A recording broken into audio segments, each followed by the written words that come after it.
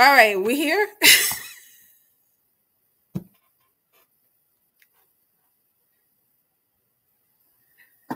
All right, we here. So now I got to mute one of these.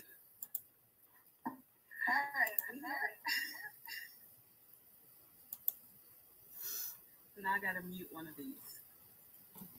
All right. I said it in the video. I said I'm hoping that I don't have any form of technical right. difficulty.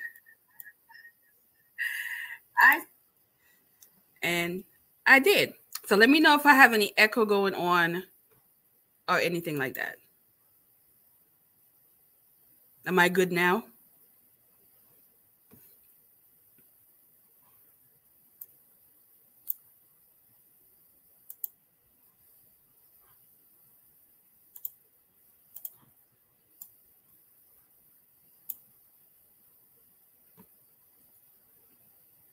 Okay. So let's get this show on the road, right?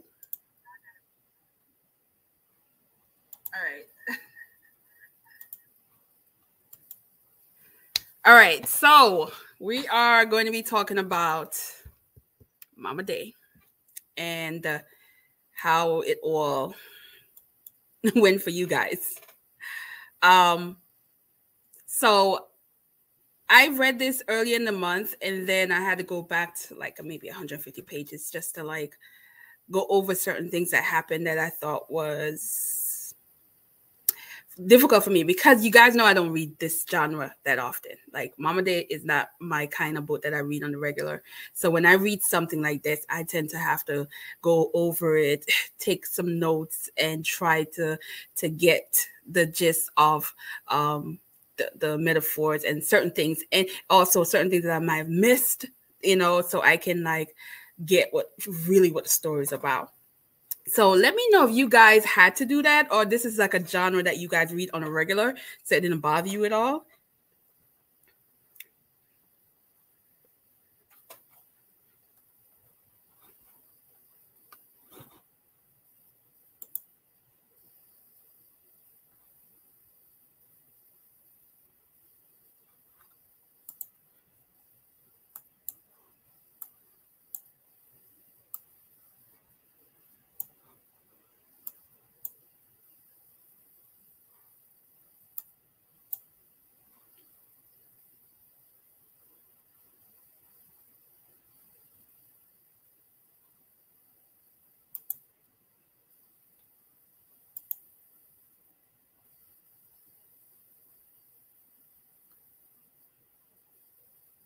Yeah.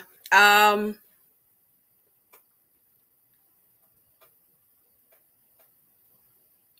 Okay. Yeah, you you you definitely um over time um was able to catch up on it. Um I do find that uh, towards the end where the there's that um spirit woman and um I had to like try to understand how far back this is going. Um, so for me, that was a struggle because it had that um, magical realism in it, and oftentimes those storylines like that, I have to like pay attention because I'm like, huh, you know. Hi, Alicia. Alicia. You had to call a high school to get some help. All right, Sharon. Yeah, yeah, I can see how you had to. Oh, and you also had to keep um notes. Yeah. Um, I definitely saw that coming. Now, what I would say is um the note taking has definitely helped me with this. I do find that I had to take notes. Um, it wasn't just like I grabbed the the gist of everything at first. Um, so we can just like dig in and start talking about like how how do you feel about Mama Day? Like, did you love it? Not so much. How did you feel about it? Hi, Onyx. Um,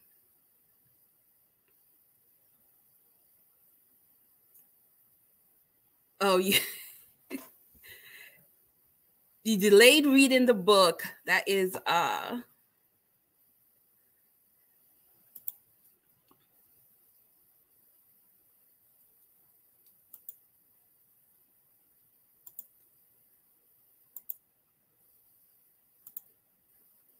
you delay reading the book long, long ago. Okay. Yeah, I've never read any book by this author. This author is known to me very much, but I've never um, read anything by this author until now. I've um, watched um, Women's of uh, Brewster's Place several times, but not read the actual book. Hi, Onyx. I think you should read this, Onyx. This is definitely up your alley. This is definitely up your alley. Um, you know, the, um, yeah, honest place, you could you should read this. I do I do feel like this is um your cup of tea. Really, all her books have magical. I don't think the Woman of Brewster's Place is the book more like that because the the movie didn't feel like it was um the movie didn't feel like it was a magical rhythm. It felt like real life situation um, for me.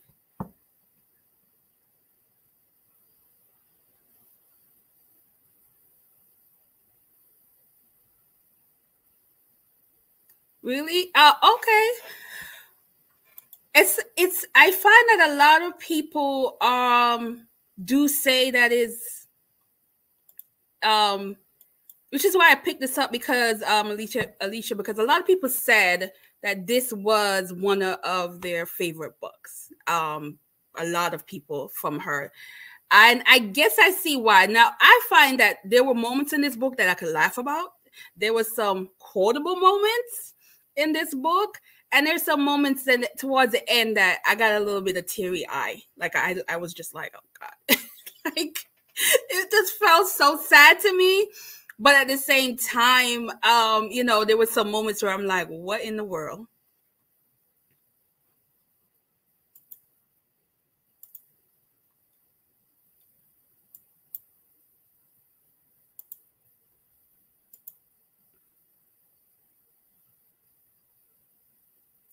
See, now I'm gonna have to uh watch. Maybe I should just read The Woman of Brewster's Place, um, since I don't remember it like that, but just to see does it have that.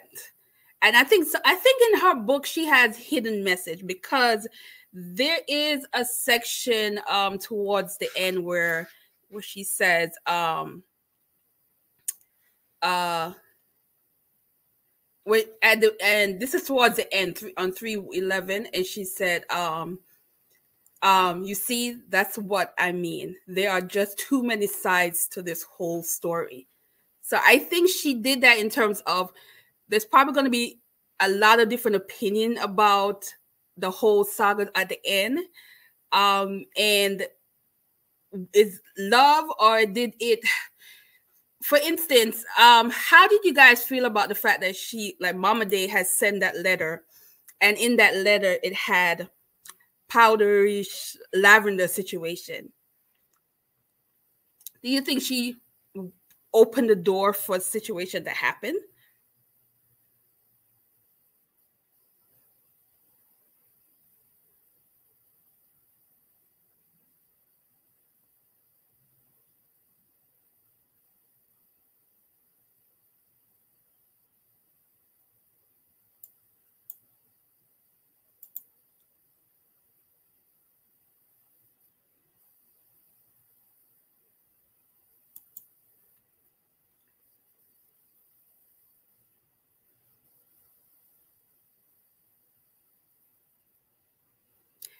Um, yeah, I think Sharon also, I don't think um that I would appreciate this book if I read this 30 years ago. Well, yeah. even 10 years ago um, because of the genre that, you know, like I said, I don't read a lot of this. I think I appreciate it more now because of how the to- story is told. Um, it was interesting in that way. Uh,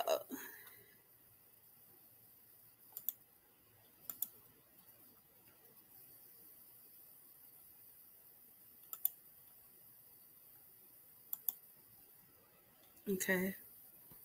It's real magic in a way. Yeah. Yeah. I, I don't I wonder if when I when I was reading this, did you feel like she intentionally know that something may come of her actions because it welcomed a man in a, a situation that um I guess it was his he was meant to be there, but in a way did she draw him in?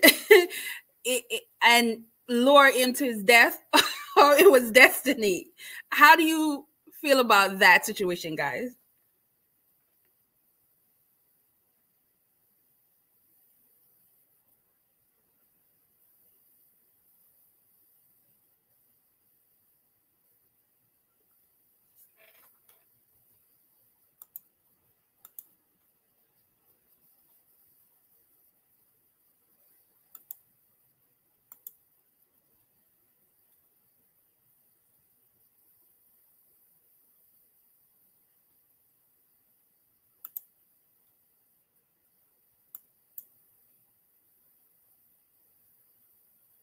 Yeah, it's out. It's definitely. I love when George got to the community and he just felt like this was paradise. this, like he didn't know his faith. He just thought this was like a beautiful. What is Cocoa talking about? This is just like a wonderful situation, and I thought that was interesting how the story is told because it's like, yeah, but little, you know, little did he know that things was going to change.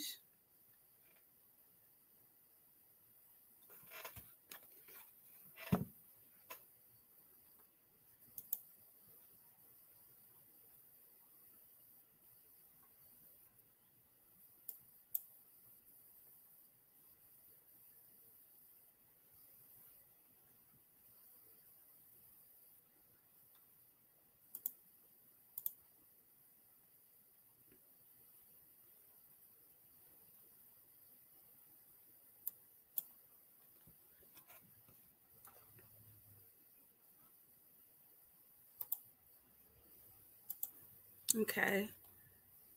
He lacked family and was drawn to her family. I don't think he was destined for what happened, but life is unpredictable. That's true. Um, I definitely see that because he was once he realized the connection he has with her, he was like she was his all, and that I forgot exactly what he said to Mama Day at the at when they talked, um, and how he felt about her. And I thought, yeah, and it I think it goes back to Bailey Cafe because I have not read that but you know that part in the book where he was mad when he didn't want to be called.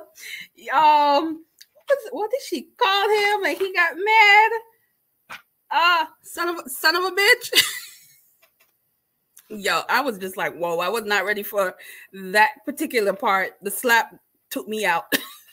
so I was like, whoa, you know, but it's like you get a lot of message in that where um, where she mentioned about um, how men see women, how they see how they see their mom is how they see women, and I thought that was an, a really hitter in that in that part of the the story, um, and and I think also when he was around all these women and how they were and they embrace him, um, you saw him be a different person and, and, and was willing to do things um, that he probably wouldn't have done before because, like you said, you know, mentioned before, uh, he had no family.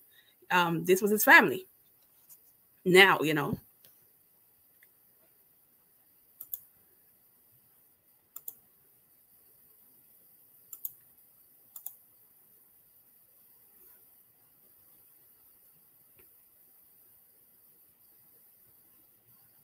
Oh yeah, I think you said I think um, Mama Mama they allowed him to make the choice. She mentioned the hard way or my way. Yeah, yeah. That that part was like I it's just it was so weird. And I was just like, oh my goodness. Like I mean, I think once because he loved Cocoa so much, once he saw that the pain and the condition she was in, I, I think I, I already knew he was gonna make a decision of following that um what she says, even though it just to me, I would think it was weird and and out off the top what she asked him to do. Um, but he loved her. He loved Cocoa. There, there was so much love in this, and you know, it it also like really got me good at the end, and that's a part that made me want to cry when, um, then on page three hundred two when he said, "As my bleeding hand slid gently down her arm, there was total peace." Oh my god, I read that part and I was like, "Oh yeah, not gonna cry, not gonna cry." It's that love I don't know about that kind of love, but that is some serious love. Um, that it's it's it was that part was hard. That part was so hard to read, and you you you you in real life you would hope Cocoa get that message because just imagine the torment she's going through for years of what sacrifice he made. Um, but that part of the book, I was just like, whoa, yeah the, the tears yeah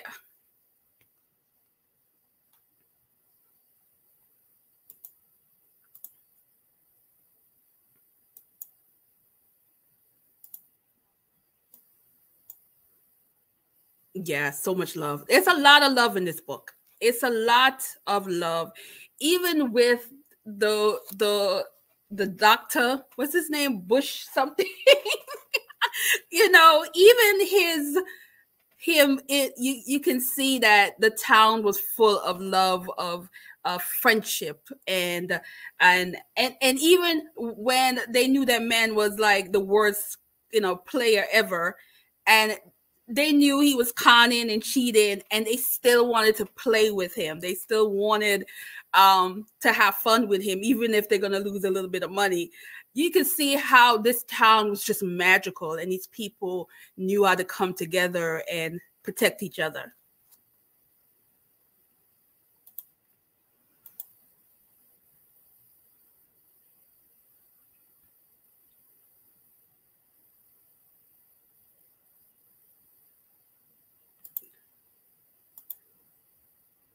Yeah, that's exactly what Cocoa felt. She didn't believe in that kind of love. So she tried to sabotage it early on.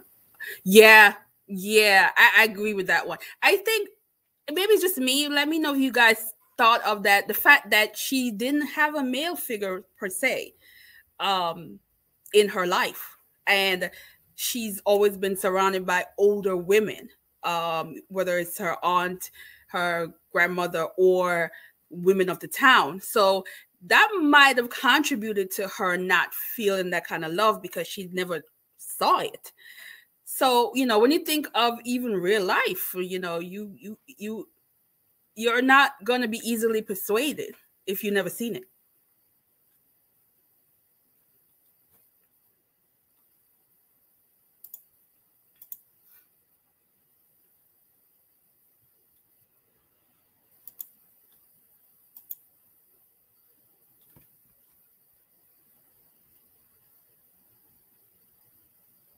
Yeah, George was. Yeah, I would say. Yeah, agree.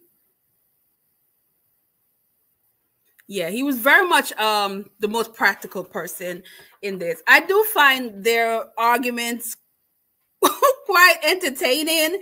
Um, you know, when she's she just picking fights with him, especially that when she's wearing a foundation shade too dark.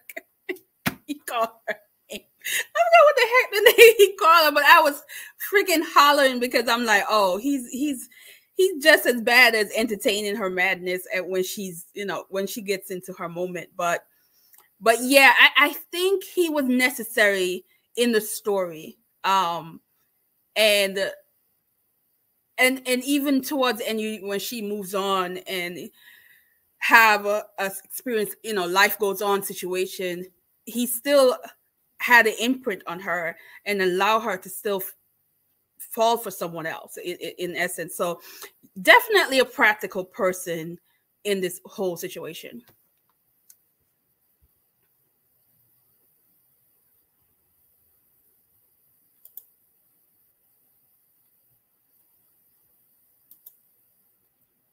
I love how. Oh yeah. Yeah, that yeah, it was very organic. Yes, that whole um because I'm a New Yorker, so I thought yes, I like how organic it was that they were just able to stroll down the street and he was showing her things and and giving her a part of New York um that most people don't think of. You know, there's so much you know they see so much of manhattan and these tall buildings and don't realize they are neighborhood they are family community setting in new york. Not everything is high rise and over the top tight. It depends on where you go. You go to queens you get a different sense of community. You go to brooklyn it's different. Manhattan um, there are different parts of manhattan even that has some kind of brownstone community setting versus what she you know she saw. And i love that part of the story that it just was like and it was romantic you know because they were just walking and they're talking and there was no like he wasn't being pushy and which which made her confused. But i like that part of the story. There are the love in this book comes in different ways. And that's a part that i really like really um enjoyed in this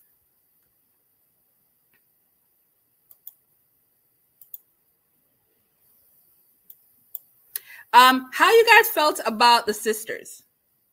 Mama Day, you know, how you felt about um Ophelia and or Miranda. Yeah, I keep I keep messing because I, I want to I just call her Mama Day, not, her real name. Just like not what am I saying? Abigail. Where was that came from? Abigail uh, Ophelia is Cocoa. Um, how do you feel about the sisters, like their relationship, being that they were around 89 and 90? Um, you know, how do you feel how they this how they the importance they had in the story?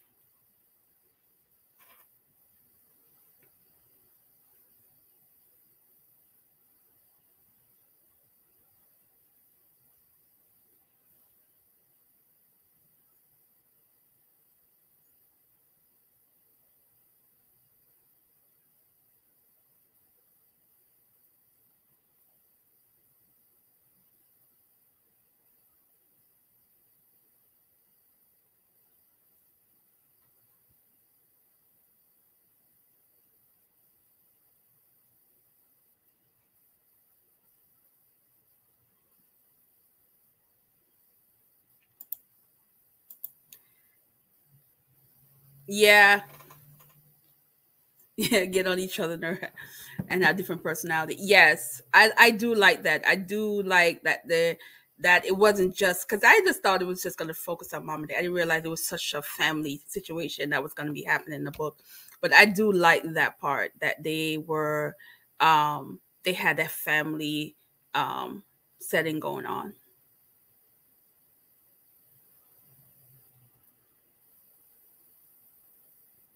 Yeah that that's that's true.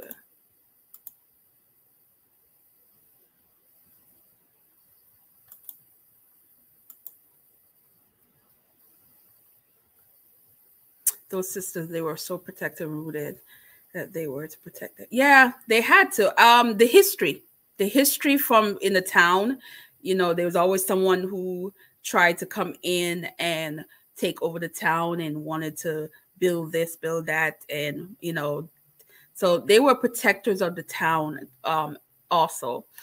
And um, I just thought it was interesting that you can't find a town anywhere. like, how did she decide to make a town that's just sort of exists but don't exist? That kind of deal. I thought that was creative.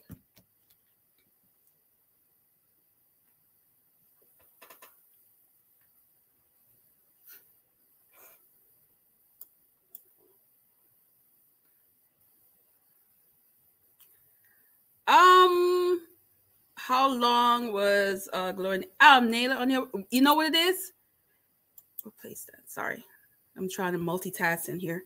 Um um how long was she on my radar? Um um be honest with you, she was on my there's some authors that I have on my list for a while now. Like I, I have a little list of authors that I'm like, I do need to read at some point. Um, and she was one of those authors that was on there. And but I wasn't didn't even think I was gonna pick it up until I don't remember who, but someone in a comment um when I was talking about doing a read along, I think I did my anniversary, and they suggested um to read her. And I wasn't sure if I was to read this one. I think she, I think she re- recommended another book by, um, by Gloria um, Naylor, but I thought this one was the book to pick because of so many people who said this book was um, one of their favorites. And once you give me that, I'm gonna go with the favorite because I want to be I want to be blown away out the back. I don't want to pick a book that I'm not gonna like because I find that when you when you pick a book for the first time reading an author that is like a fan favorite and the first book you read if you don't like it it's hard for me to pick up another book by the author um, so I tend to like to go to like, okay, this got really good reviews. People tend to like it. So I'm gonna pick this up first because I'm able to to now, ooh, let me go to read Bailey um, Bailey's Cafe and all the other ones that people talk about. Um, and you know, because this book impressed me. So yeah, that's what we get with that one. Is this um is for everybody? Well, we don't have that many people left in the room now. Is this like your first book from the author, or have you read other books from the author? You didn't like um Bailey's Cafe? Oh, see, a good thing I didn't pick it up first.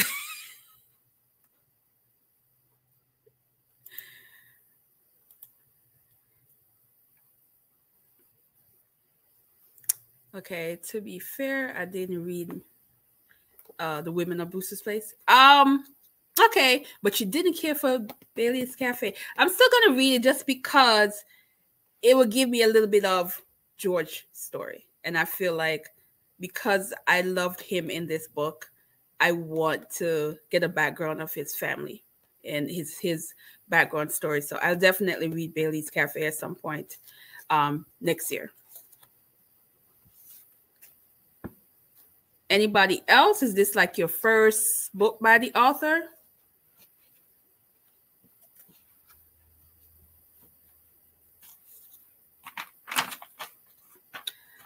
Um, how you guys felt about when you know when Bernice was trying to have a child and she finally had a child and the outcome was not great. How you feel about that? I thought that was so sad, but it's questionable how she got the child. So yeah, I I, I thought that was uh, interesting. Let me know what do you guys feel about that, Bernice, the friend.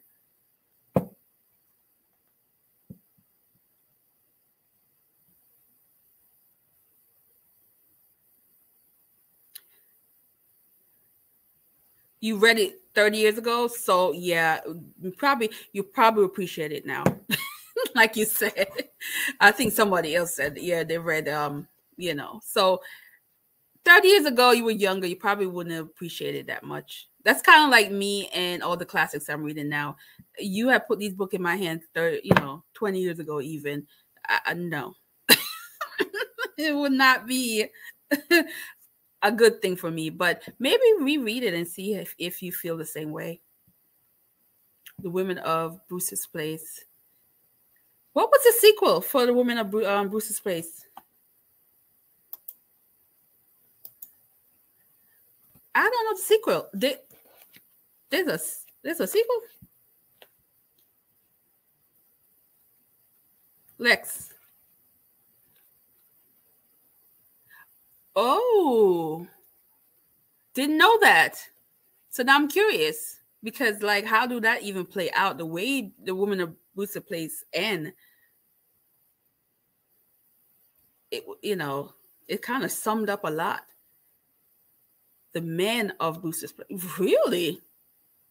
Oh, that got to be interesting. That now I'm like now okay. So I'm gonna make it a double read when I do read read finally read it, just because I've you know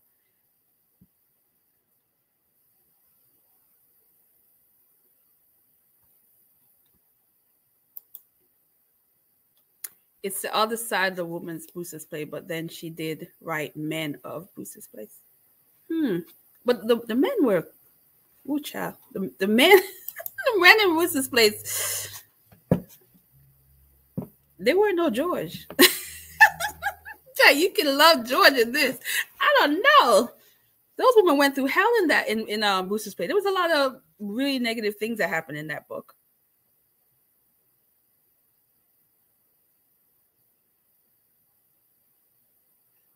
Linden Place. Hmm.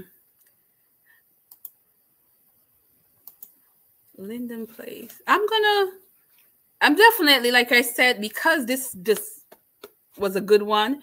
I'm gonna add these and and read these other ones that you guys that people have liked. But I she's definitely an author that I would continue reading. You know, because I, I just finished Octavia Butler, guys. Tears. I have no more novel to read from Octavia Butler. It is I have completely read all her books. I think I have maybe short story novella somewhere that I don't know of that I gotta dig for. But so this she might be another author that I just start picking up her books and read them.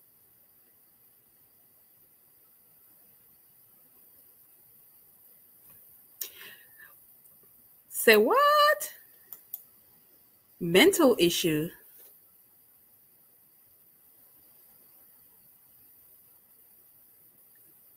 Um,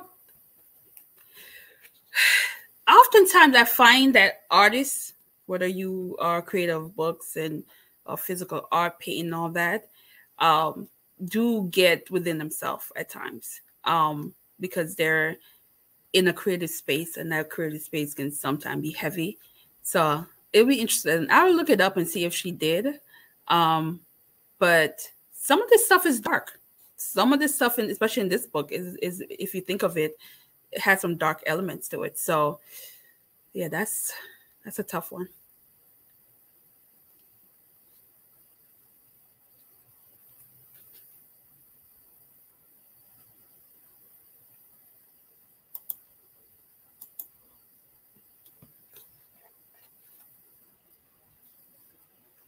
Hmm. I'm gonna take your word for the sequel because I've never heard of it, but I'm gonna take your word that she's gonna focus on the good guys because I, I, love the good guys story, especially these books that were written like in the 80s and 90s. You know, not often they have positive male characters in the book, so I'm gonna take your word for it because that was pretty. This this was a, a positive male characters I think in this book, and I I can appreciate authors that did that because it's easy to write negative about a, a male character than it is a complicated positive character.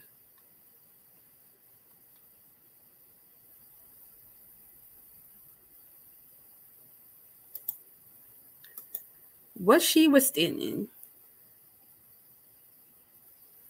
She died in Virginia. I don't know. I don't know if she was. I never really looked her up. Um, but it'd be interesting if she was. Who knows? Um, because if she was in the New York area, she was born in New York, there's a high possibility she has Caribbean roots. Um, because there's a lot of especially in during this time that you're talking the 80s the 90s there were a lot of writers if you ever look on their background as far as like their grandparents they were caribbean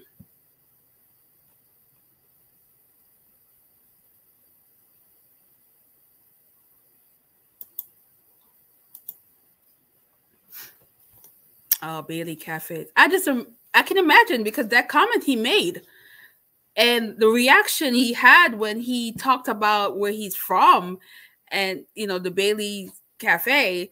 Yeah, I can imagine it can't be it, it, the men in there has to be dark because the, the man slapped the woman, like slapped the woman out of rage.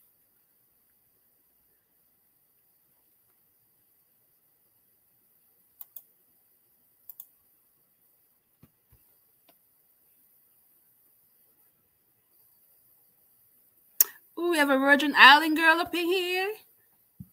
Renisha, that's her name.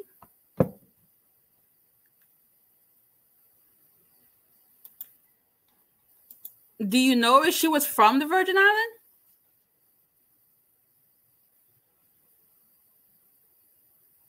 Oh, they said she has southern Mississippi roots.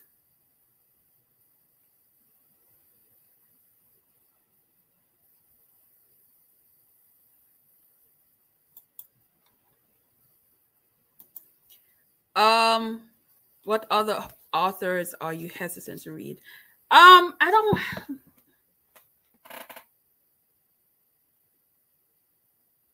None. I don't think I have any. It's it's the it's not so much the author, it's the genre.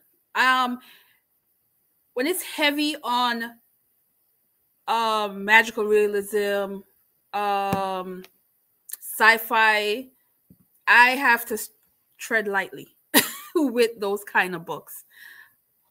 Um and that's that's my issue is because of the fact that sometimes it goes over my head.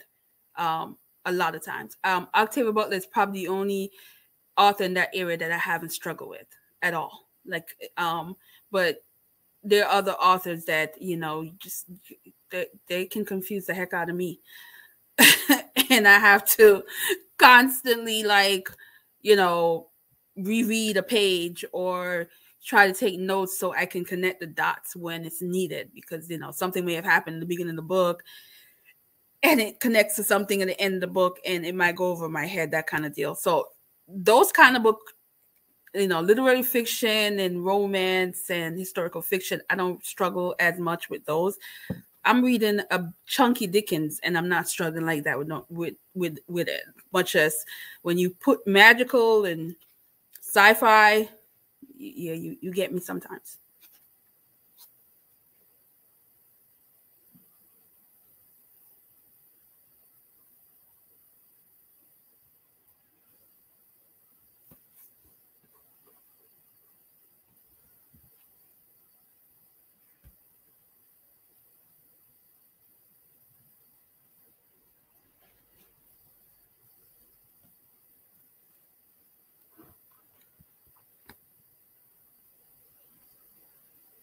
Um, anything else in this book that you guys thought was let me see, because I did take a few notes.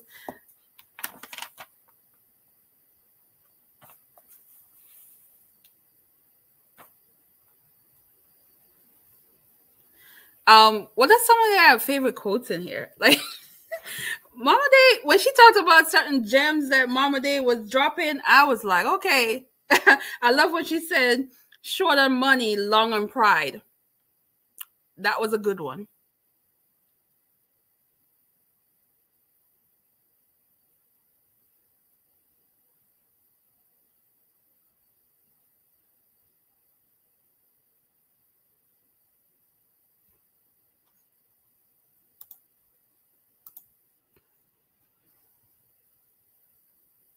Mama Day is what we know as root woman, root workers. Yeah, yeah, but it, I, it's when, whenever we say root worker, sometimes it comes off very negative, like you know witchcraft or something like that. But I just like that she was into herbs. She was into herbs, and she was into certain things that were a remedy. You know, when you think of when Bab or um, Bernice decided she want to try some some drug that she shouldn't have a child, and she was there and she knew certain things and um, she still had to get a doctor, but she knew what the issue was, um, and the remedy that would work that wasn't medicated. I think women like those, you sometimes miss them because they were using natural remedy.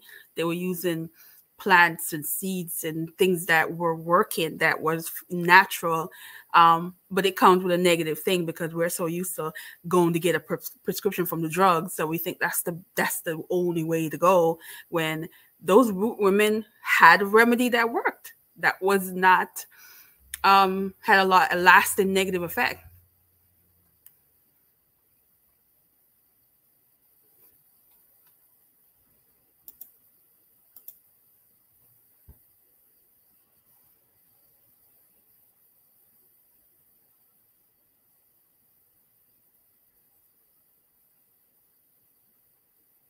Yeah, the lineage is definitely you see that in this book because you know Mama Day is up in age.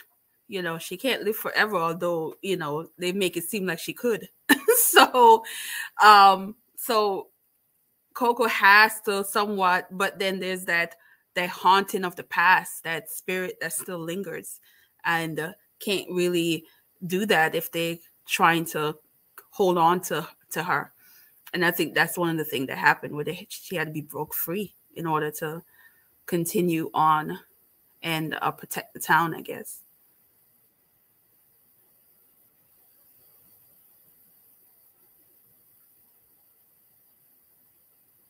Oh yeah, that quote was nice.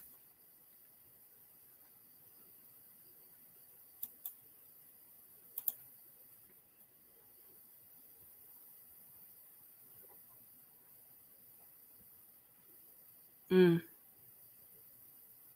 Holistic remedy, yeah.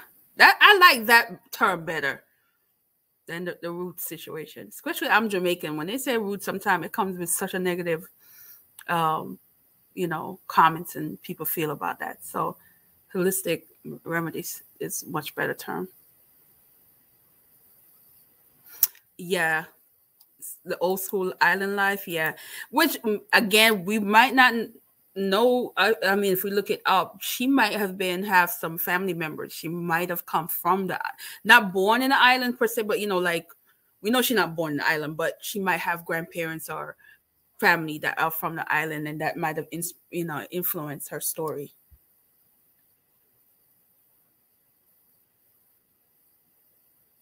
She's 90 with no wrinkles right? Like where? What was her remedy What's she eating well i mean it's a lot of organic because she was eating from the farm but you know like how are you 90 with no wrinkles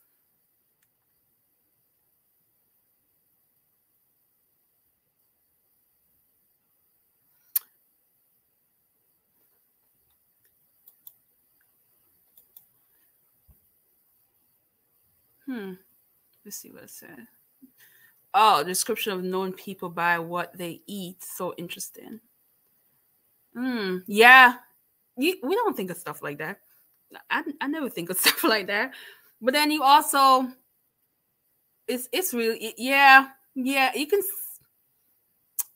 I think it's more of how you care you feel about your body. And I think sometimes when you think of what people feed their body and how they treat themselves says a lot about their character and their personality.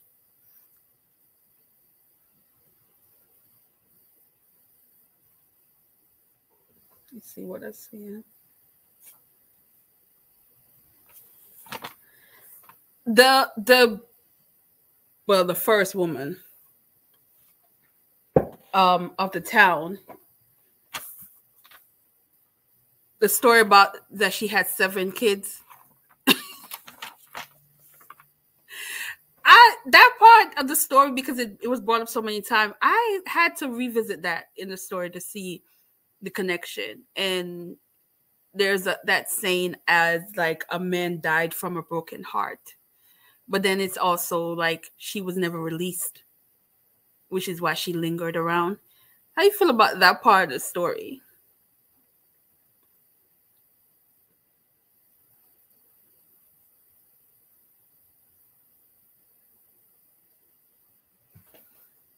Ooh, that's a good one.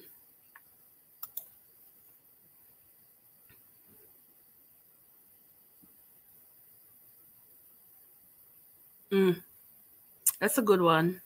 Mad World, 1962. It's a good one.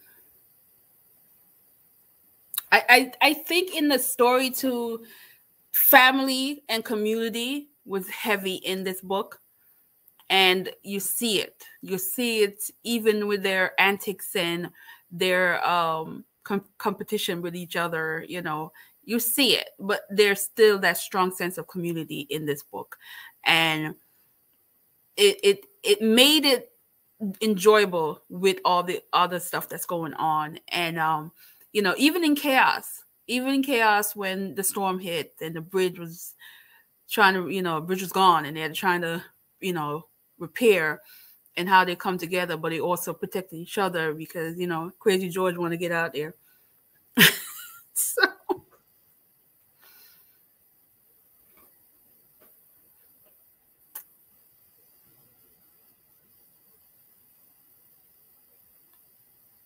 So, who was your uh favorite character?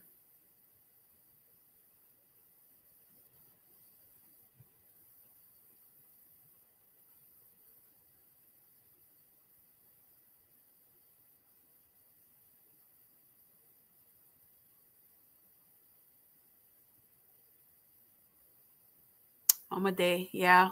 Okay.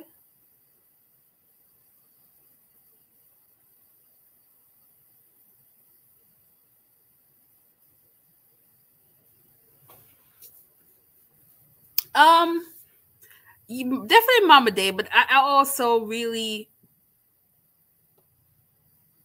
like both of them. I think the, the balance of Mama Day and her sister. Um, yeah, I think they were just. It's it felt like you you got two for one.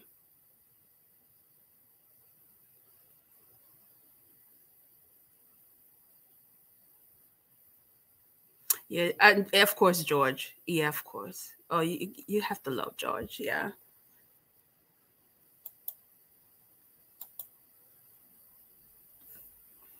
Yeah. Yeah, I would have to. Yeah, it's it's a hard. Yeah, if I had to pick one, it's, it's just because Mama Day connects everything. But yeah, George is definitely a, a memorable character in this story. Yeah, she was she was badass. She said what she said. Take it how you want to say it. she, and she was strong because she was walking all over the place. and it, it it makes graveyard creepy because I never think graveyards are that creepy. Um, yeah, I'm that weird person that, you know, I always feel sad when I pass a graveyard in terms of thinking how many innocent souls had lost their life, you know, that kind of deal. But I never feel like creep out. But in this book, she make you never want to pass a graveyard.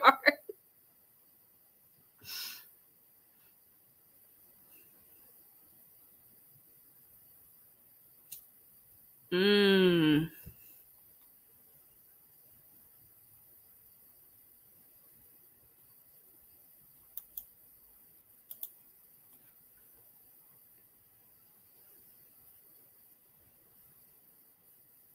Yeah. Which is how I, I look at I agree with that one. Um the the women building the group group the women one building from another to become a whole person. Yeah, this is how I feel about the sisters, Mama Day and her sister. I feel like they're the, the connection are, are together. You know, a chicken coop girl. Me, look, I grew up chicken coop. My grandmother had a chicken coop. We used to go up in there and get the eggs in the mornings and stuff and the way she talked, and I'm like, but I've seen I've seen chickens attack. I have seen that. I have seen chickens get aggressive, mostly roosters actually. I've seen them get aggressive and chase people. So they can pet the heck out of you. So when I was reading this, I said, Oh Lord. That's a hell of a, a chicken coop. I was just like, to think that is how the man went down. Yeah.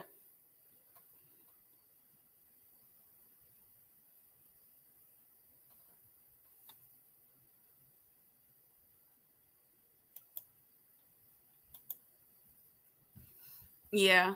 And I think um with the graveyard, I think because you know in the Caribbean, especially if you're in the country area, um we still have family member buried on property. Like my uncle back in 2019, we buried him on our, our family property, and um, we used to go. I mean, sit on the grave, and so I've never had this fear so much of a, of graveyards.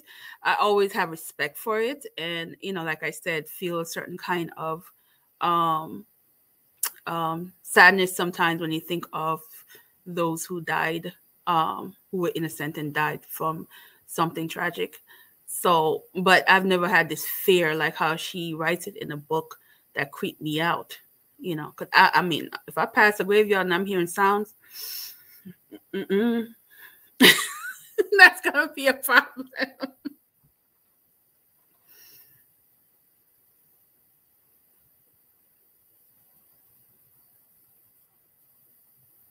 see what else. What else you want? What's we got?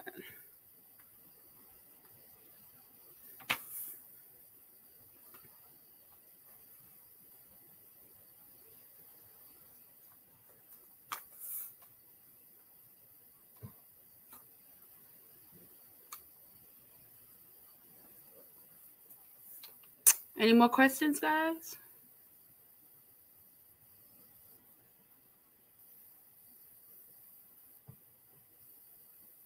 If you had to rate the book, what would you give it? One out of five? Just curious.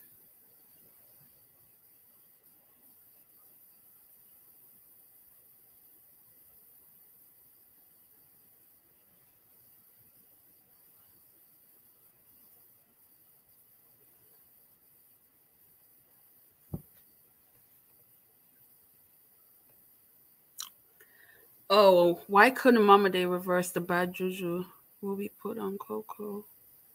Hmm.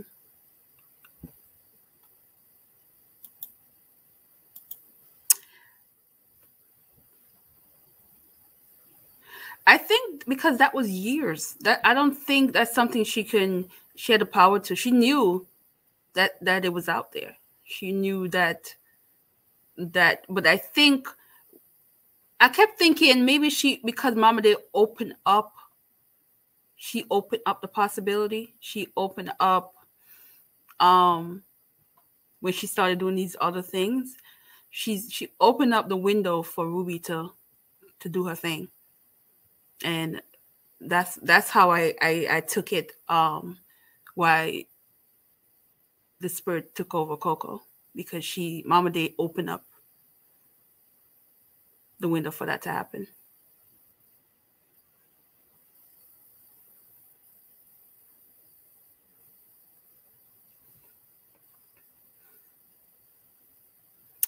We got some five stars in here. Nice. I'm glad that you guys enjoyed this. Oh, Mama Day implied George had to believe in order for it to be reversed. It was too late when he came around. Um, Uh, but it goes back. She opened that. Remember, she sent that letter with that dust in there and and lured that man to the town. So, in a way, he had to. He was a part of that. So, um, and then also they never really opened him to everything. They waited till Cocoa got terribly bad before they start telling him things. Uh, even if they may not have believed, he may not have believed him at first, but they waited till the like it was re- when she was dire she was gonna die, that he had to, you know, decided that oh, let me tell him this, let me tell him that. I would have been creeped out too. George had reacted like a normal person.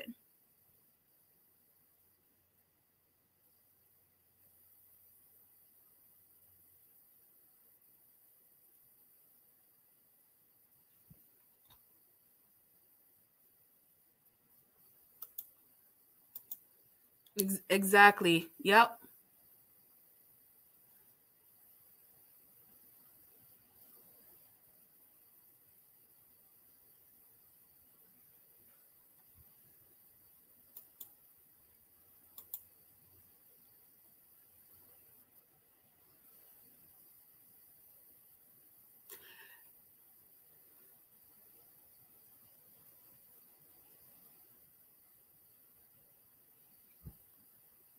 Yeah, well, she's she definitely not God, um, but she do look to that because you saw her singing that that's that um gospel song over and over.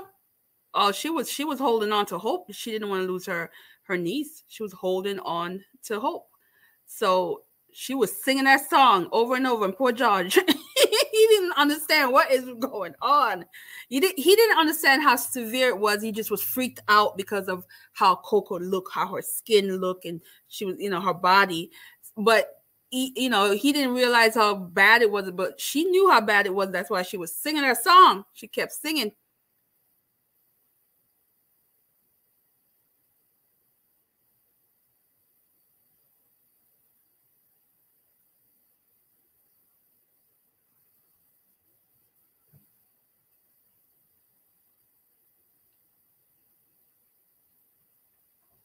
yeah i definitely this is definitely one of my favorite books that i've read this year in in terms of it was so different and i love the genre. For me um it was not no i would say like a four and a half maybe. I'm not sure if i would if i say five. I, because I, I have to sit on it and think about it some more. I, a lot of my books recently i haven't rated yet literally um, I haven't rated my books in the last three months. A lot of the books that I sit on it and think some more of the impact. But I know this book, I think about it a lot um, since I read it. And, you know, it's been a, at least two weeks. I think about two weeks or so since I finished it. And I remember so much detail about the book still. So I love books that really, when you read it and weeks goes by, you still remember so many information in it. And, and, and you think about it in, in, a, in a way that is uh you know powerful and I, I, think she made such a good point in this and i love that although it had mag magical realism it still felt realistic in terms of how it just talks about community and family in that setting in that time period. Um, and i think community setting back in the 80s especially in southern towns was much stronger um, you know than now and you see that in this book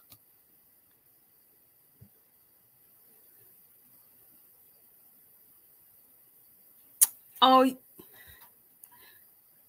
so we have a cocoa up in here.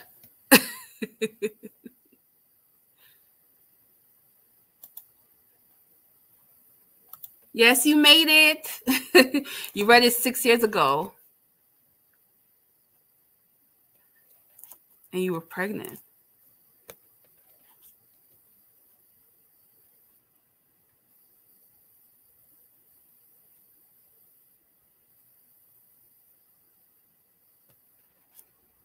Yeah, American folktale, African American folktale. Yeah, I, I love books with folktales that is still realistic and not so overly magical that you you know you miss something.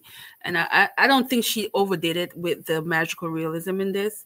Um, which I, I, I really appreciate that she didn't do that. She still had it mean somewhat realistic, but dropped that folktale in there that makes it special.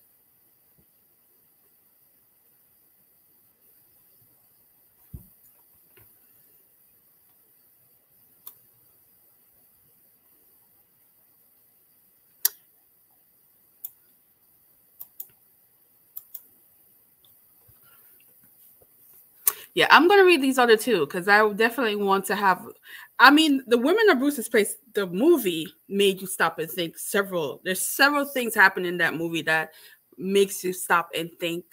Um, and and when it came out during that the era when it came out, there was so many things that was discussed in in that movie that um, was still not widely accepted. And I like that they touched on it and talked about it in a way that was powerful back then. I think now it might not grab people as much because we're exposed to a lot more things. But back then, that was a lot of taboo things that was talked about in this that was really good.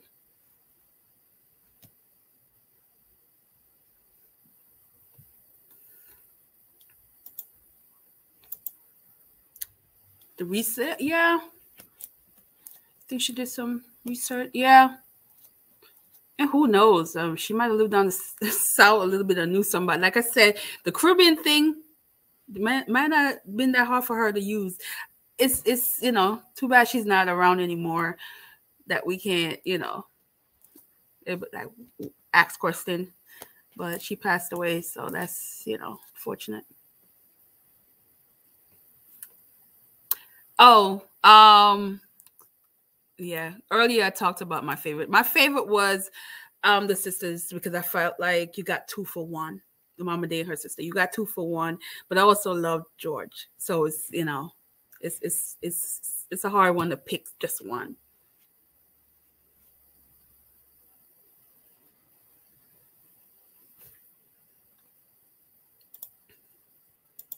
Yeah, the women of Brewster's Place, they did an amazing job with the casting and the actress. And they they played the heck out of that movie. So um she i'm glad they were able to to at least have a really good movie. I don't know if they have any other movie. I think the bailey's cafe might have a movie. I'm not sure. Let me know. But as the, the only movie i know that she's had was the woman of brewster's place.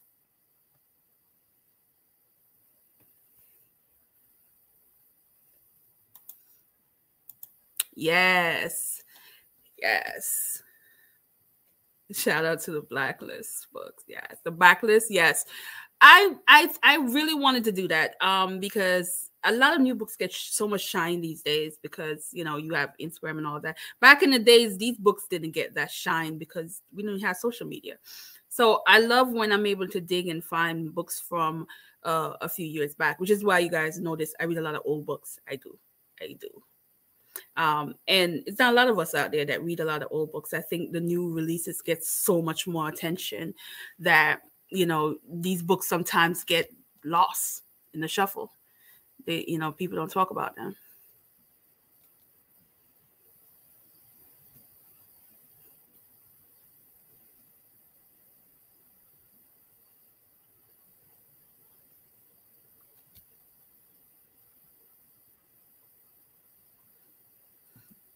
Bless George. Yeah. George was definitely amazing. He was amazing in this. He played his part. He got lured in it, but he played his part. And I love that how she writes it where we can we can know what he's thinking after the afterlife kind of deal, bits of pieces of that, because how he talked about his death.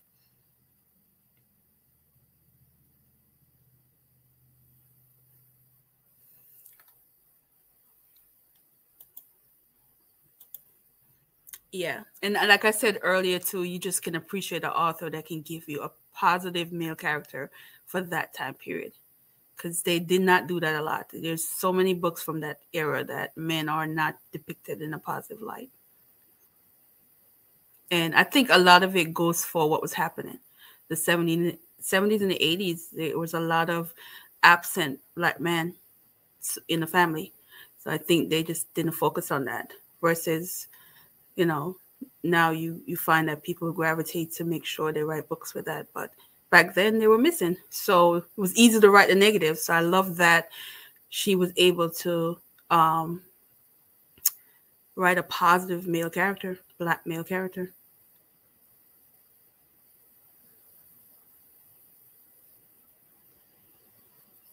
Willow Springs, South Carolina is real. But this was wasn't it supposed to be outside of Georgia though? Well, no, South Carolina is outside of Georgia somewhat. Hmm. I should know. I went to college in Georgia, near Savannah.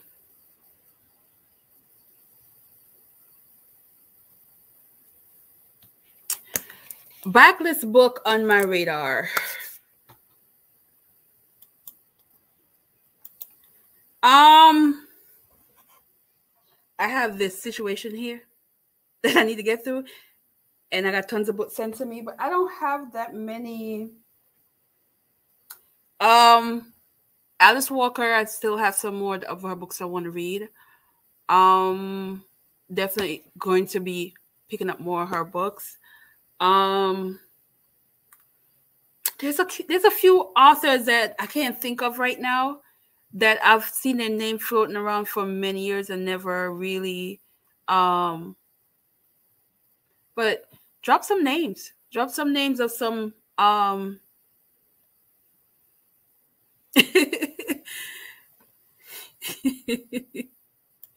yes, my TBR is is guys, if you watch my previous video where I talked about those books that was sent to me, since that video, I have 16 more books that were sent to me. Yeah.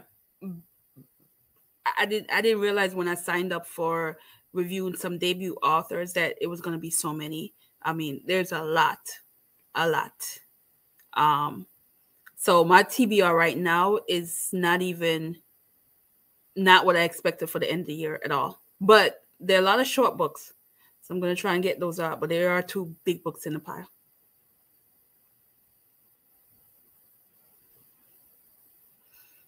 Um, yeah.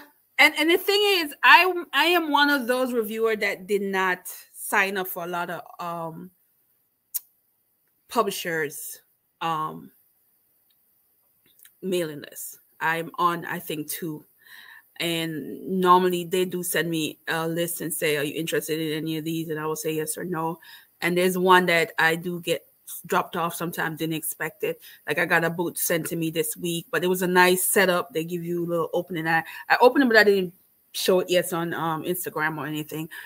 Um, but for the most part, I don't. And I'm wondering for those people who have a large following, I mean, I'm still under 3K. So those people that have like large following, I can't imagine what their mailbox look like and how you control all those books that you get that you, you might not have asked for it, but you you were underweight on a we call it their list, so they just send it to you. And um, I don't want to ever be that crazy because this was crazy. I mean, we're talking I have close to 30 books that I've received in the last two weeks. That's crazy. but that I agreed to, but I didn't realize it was going to be that many books. I thought it was going to be give and take 15 books, not twice that much. And there's a possibility I might get some more. So I don't know. Oh, I did not finish. Let me see what you got. I've read a lot of Terry McMillan. I, I, have read Bernice. I have um Bernice uh, McFadden. I have probably four more books that I haven't read from her yet. I'd like to slow read hers because I, she's another one I don't want to finish all her books yet. so I just, you know, read her books maybe once a year. I read one of her books. Um, mm-mm. Toni Cade. I don't know the author. Let me see. What does what books she has, um, Sharon?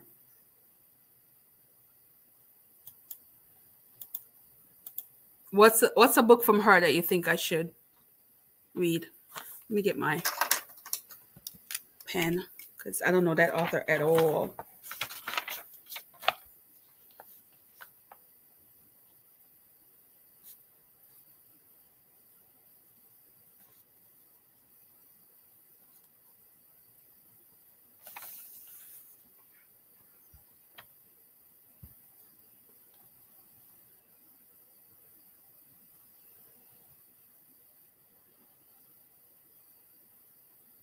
Yeah, the, the the thing about this, and this is where now I'm I'm at a stand because two of the books that were sent to me, I already own and was already on my TBR for next month. Um, so it would be nice to give them away, but these books are huge, and it's just not gonna. It's, it's for me. It's just not worth it. Me trying to send that to anybody. Um, so that's the disappointment in some of these because I'm like, well, I have two of these, or I have maybe three books that I already have. No, it's three. They sent me three books that I they send me the Cicely Tyson books again, which I already have. They send uh Sweetness of Water. Uh they send uh Love Letter W.B. Du Bois, which I have already and but it's just so difficult with these shipping now how the shipping situation is happening now and you know to to mail some that's why a lot of time when i do giveaways i just do it where i just order it directly from amazon or whoever i ordered from and have them directly send it to the individual so i can cut out all that extra expense. But for me to like having to ship it it's just it's way more difficult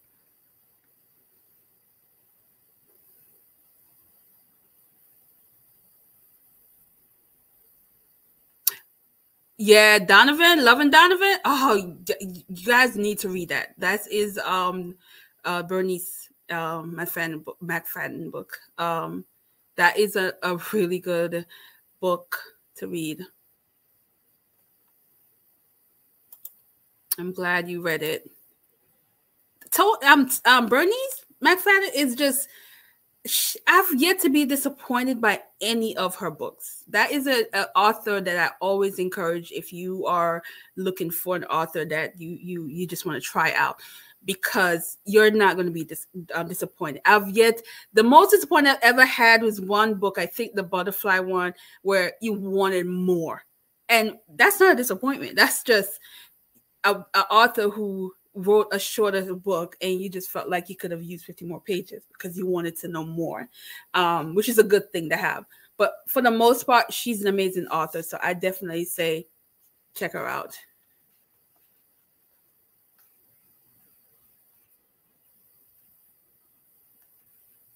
Oh okay.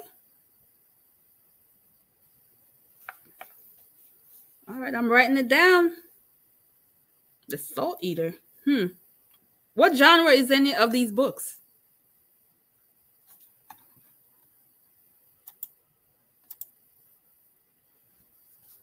Um, Alicia, um, what what um genre is these um is her books?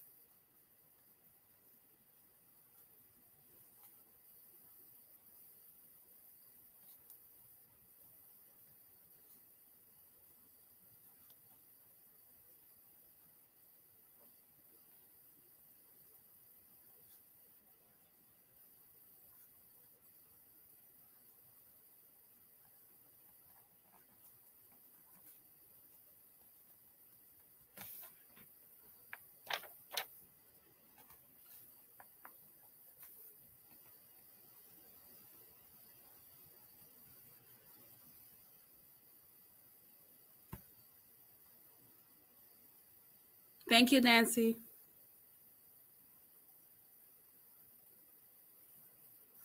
It's okay. I will look it up.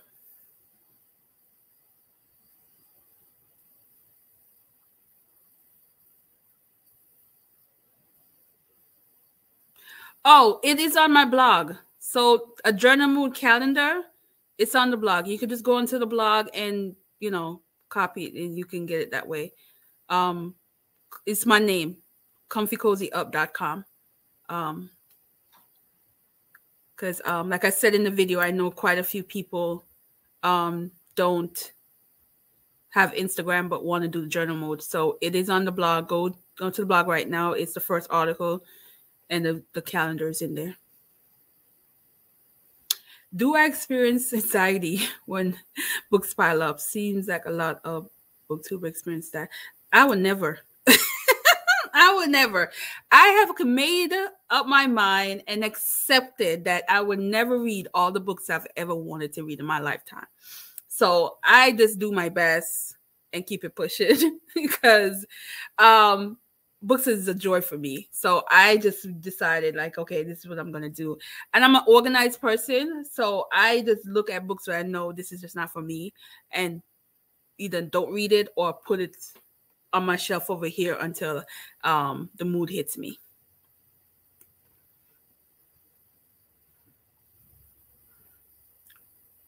Oh, the magical realism too. So let's hope um I'm a, I'm gonna do uh I'm gonna read her. but we'll see. Yeah and i would check i would check out um the yeah definitely would do the same check out Dee um interview i just didn't read her book that book that she i think they were talking about that's why i haven't watched it because i kind of like watching it and then read the books just in case there's spoilers Ooh, Harlem. You know I love um authors and artists from the um from um Harlem. Harlem. Oh, they live. Oh, it's okay. Um, literary fiction, short story, historical fiction. Okay, then she's definitely going to be a cup of my cup of tea then.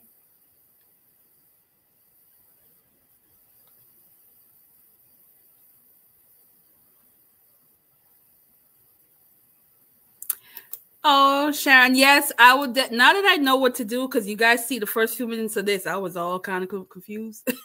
so now that I have an idea of how this work, I would definitely try to do some more, especially maybe in December, um, when I have more time. I would do more of um of these, um, and you know, just again, I love doing polls. I love doing um have you guys engage in this because I want to talk. I don't want to set things up on and now you know not have anyone to talk to. So the poll worked out pretty good for this. And um and we're just gonna pick other books. I definitely doing backlist. I am going to stick to the backlist situation and do that and have people read those books. And I think the size of this book was perfect. It wasn't too big, and I think it, it allows people to to read and and not feel overwhelmed with big books because this book was about 312 pages. And i think that's a good size. I'm trying i would try to keep the books under 400 pages because i think it makes it more um, easy for people to get in especially if you're not a, a big time fast reader because i know a lot of people are not fast reader and they take a long time to to read. And uh, so um, the book size was actually pretty good. And again you guys. This was a good one. I'm glad um, you guys enjoyed this one. And yeah, I will definitely do more of this. I'll probably do more of we can just talk about other books and just in general chit chat. I love this. I've never done a live. This is the bucket list. Remember when I did my my goal for the year? I said I need to do a live. I've never done a live on this channel, and this is my first live. So it's it's pretty good. I'm I'm I'm really glad I did this. And I love the intimacy of this discussion that we're having. It's really nice.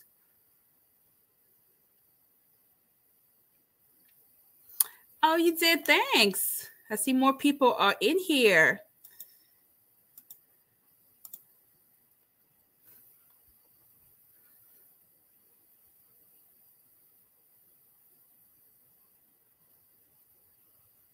No, I have not read any Daniel Black. Nope. But I'm gonna write it down. Keep it coming.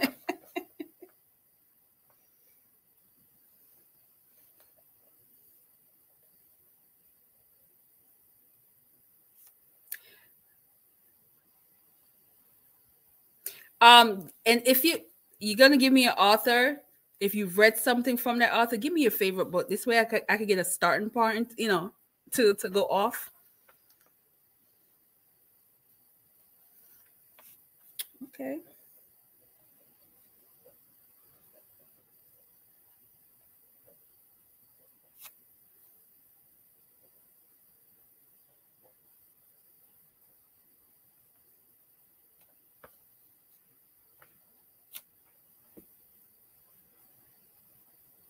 Thank you.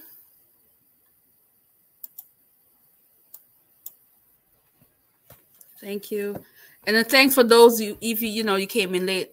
I have no problem with that. I know this was a a, a weird time, but it's Friday night. Yeah. Now, do you guys like Friday like a Friday night late night or a Saturday night late night light or would you like to do this like in the middle of the day?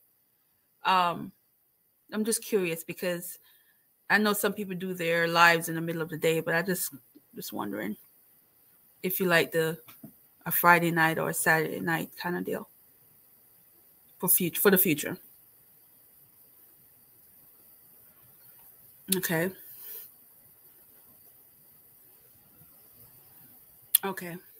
So I'll do the same thing again. Whenever I do another live, I'll put the poll up and I put the time in and you guys just you know the majority rules. Eh, it, was a it was not even a competition because it was like a seventy something percent at seven p.m. So you know, but it's the same thing. Brooklyn girl.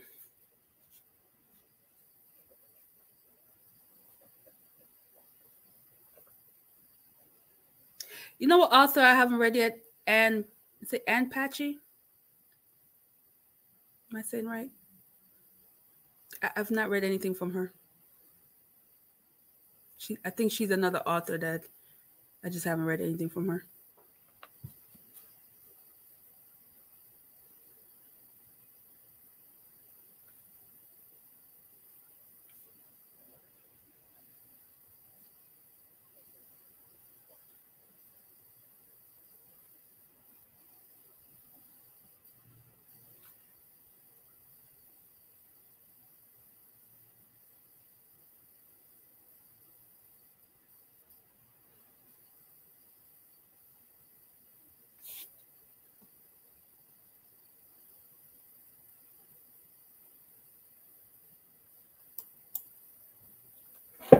Let me see if I can, if I'm getting her her name right.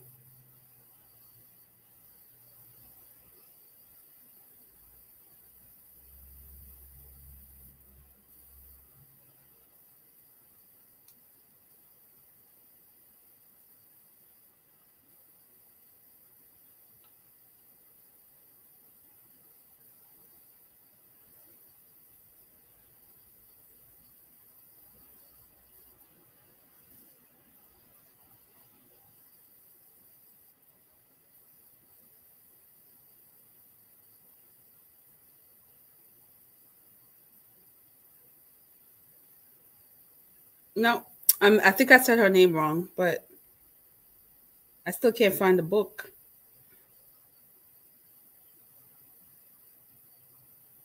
I don't know the book. Street something.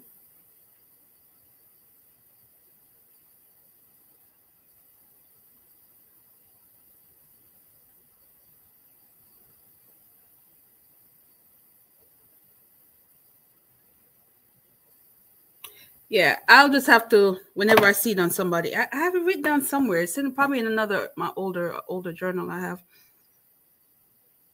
Not that one. So I definitely have the wrong name. No, I read her book. Bye, Coco. No, I think I'm I'm definitely got the name wrong. No, I read her book and I did a rant. Not that Anne. I think I got the wrong name.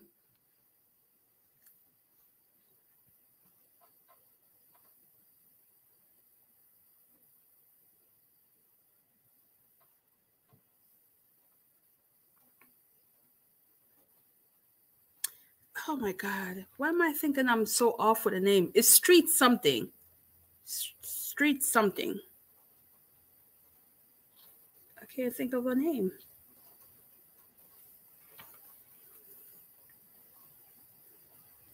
Oh, is it? Maybe it's Paul.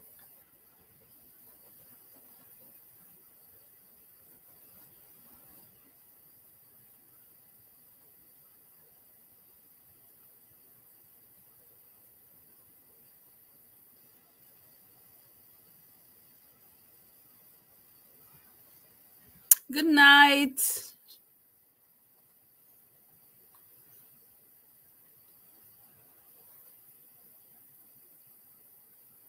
Maybe if I put classic book, she might show up. Modern classic.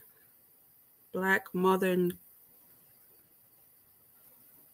Dern. I think she's considered a modern classic.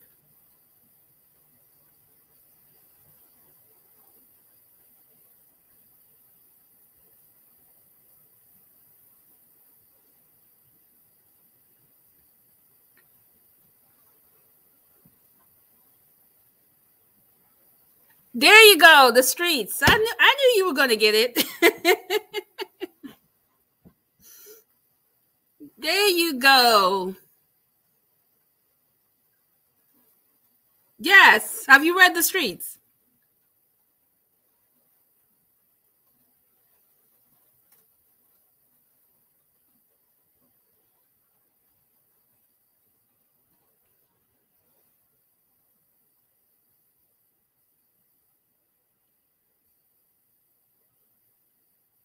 Have you guys read it? The street?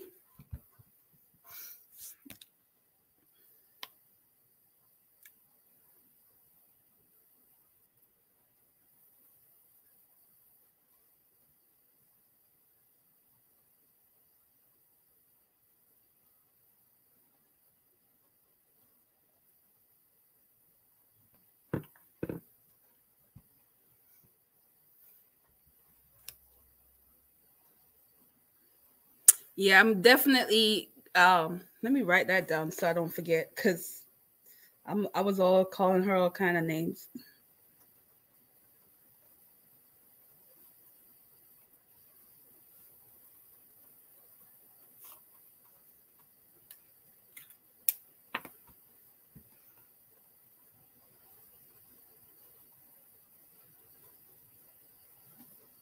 Pat is is Petry.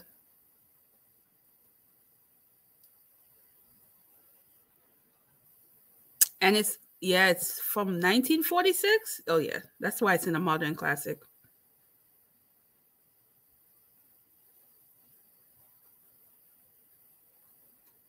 Yeah, I've always wanted to read this, and I just have not got to this book. And this, so this is another one that I need to read.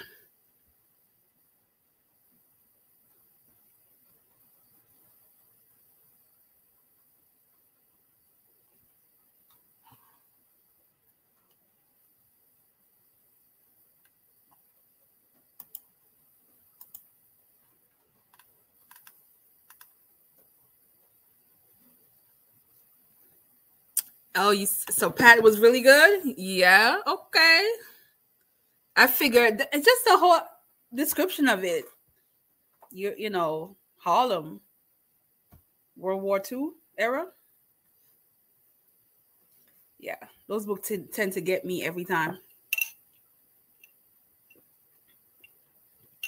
Yeah, I wouldn't read it now. Um, I have so many. I wouldn't read none. That's definitely a next year situation. Um, you know, when you think of it, guys, we only have two more months left in the year. Wow, yeah, it's this year has really um like gone.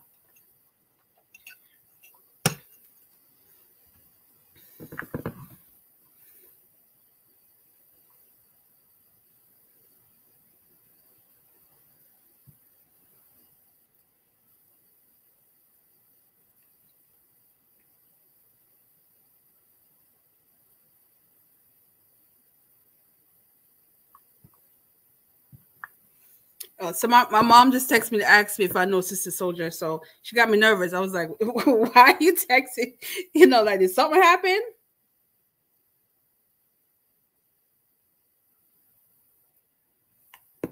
So nothing happened, guys. She just probably saw her book.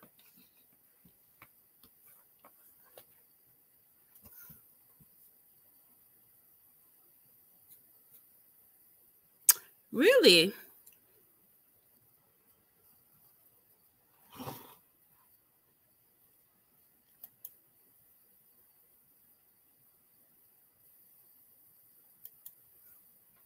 Um, but she's also I noticed a lot of the authors from that era. We're talking from the Harlem Renaissance era down to like the 50s.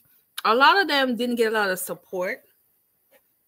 And I think in the book industry they they they they weren't weren't appreciated till now. I mean, look at Nella Larsen. There's people that didn't know she exists.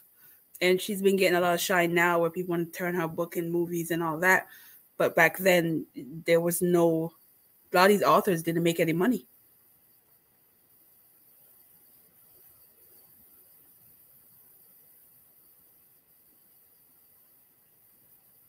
Yeah.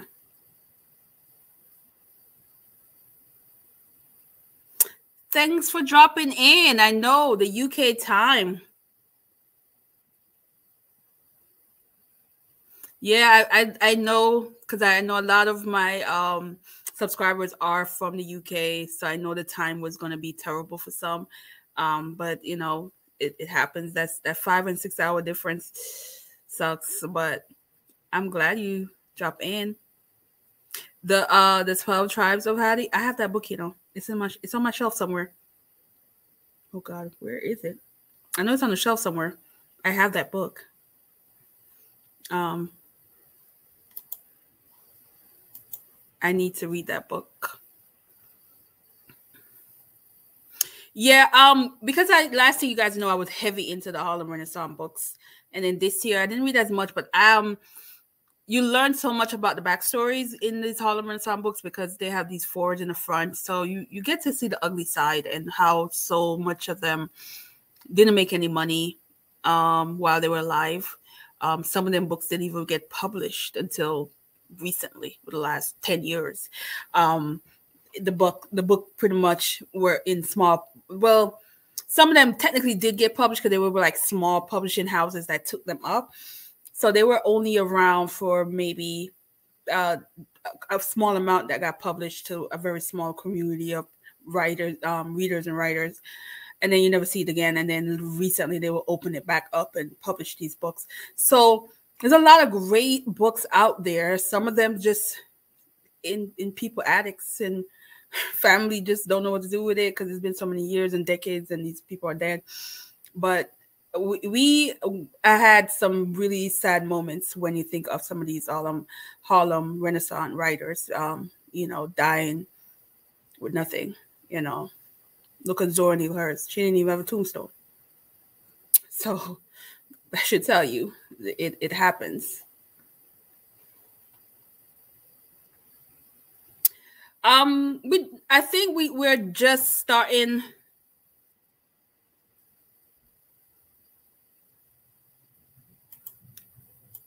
her support because she came from well It has to be more to that because um there's a lot of the Harlem Renaissance weren't poor. If you if they really weren't. The, the standard of poor they weren't. Um, they were highly educated. They were um, they came from a, a two house family most of the time. Um, so if you really think about it in in that sense, you know, it can't be just the wealth. It, it has to be more to it than that. But I would say that um, a lot of time publishing did not pay them attention. They did not um, get the respect from the publishing. You you think about Claude McKay. I think he's he was really screwed, um, and people took advantage of him. And a lot of his books weren't released till recently, and people just knowing that there's people that didn't even know he had novels because he was just known for his poetry. Um, but you have the other ones like um, that just gave up after one book.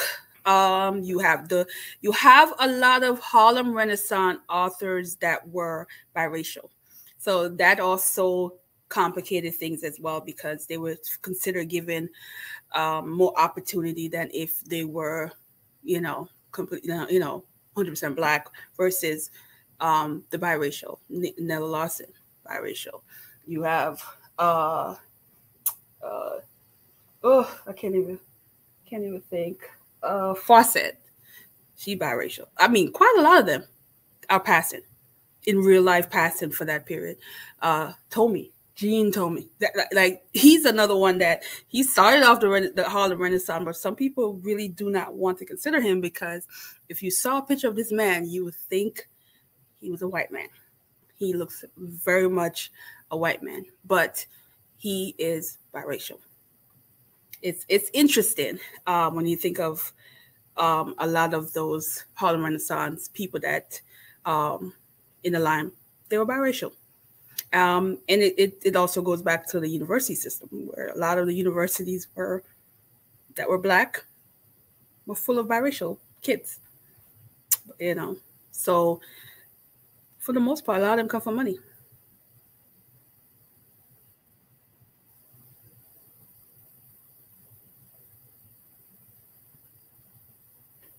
Yeah. Yeah. I can I definitely can see that. I can see that. Yeah. It's such a fascinating thing when I when I really dig into the Harlem Renaissance um, era because I learned so much history of the publishing house in this country from reading those books because um, they the people who did pick these book up to republish them to reprint them you know, add stories, add information, and you were able to learn things that um, you probably wouldn't have known. So it's that's why I always encourage people to read from the Harlem Renaissance books because you learn. And they were very much um, most of their books, I, I, you know, sad to say, is a reflection of that time as well. So you know the, the time of you know people leaving the south to go to new york trying to hit it big and don't have nothing and the circumstance that they have to live and how they survive or those that come from you have in uh there's confusion and these are people who somewhat from a middle class working family they weren't poor but they wanted the lifestyle of becoming professional doctors or on Broadway, and there was no opportunity um, if you were not um, white. So they had to deal with that. So these stories really reflect on the time period. So when you read it, you do get a lot of historical content.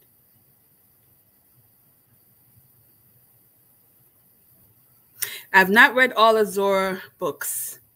I've only read one Zora book, which is "The Eyes Were Watching God."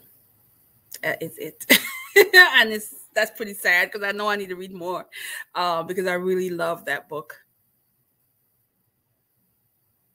Uh, Walter Francis White. I have I haven't read this book, but I've read others from him. It's on the it's on my um my Harlem Renaissance shelf. I think I have the the fire in the flint from that author.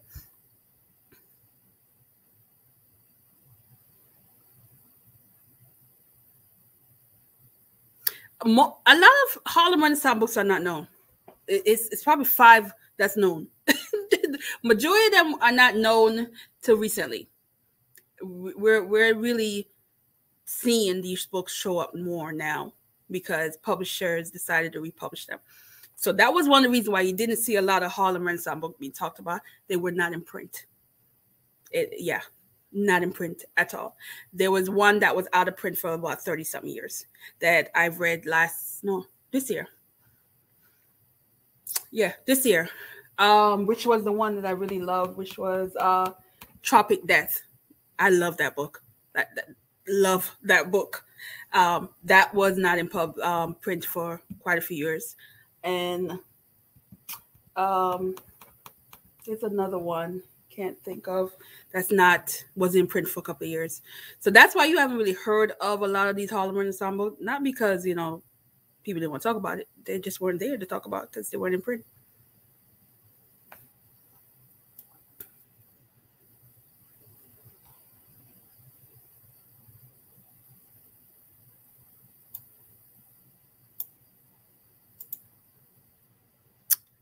So I, I definitely want to read some more. So let me know if, if you guys are into reading some Harlem Renaissance books because they're short. They they that's one of the plus about the Harlem Renaissance books.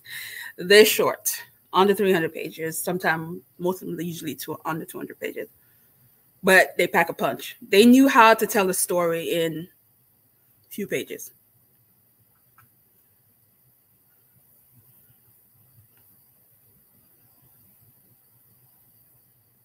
Oh, Black No More? Girl. Girl.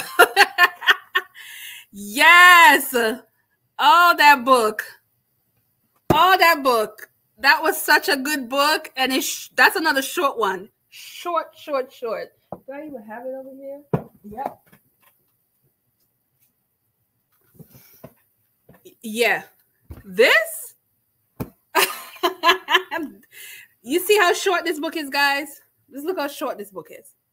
Look how short this book is. Read, read this. Read this.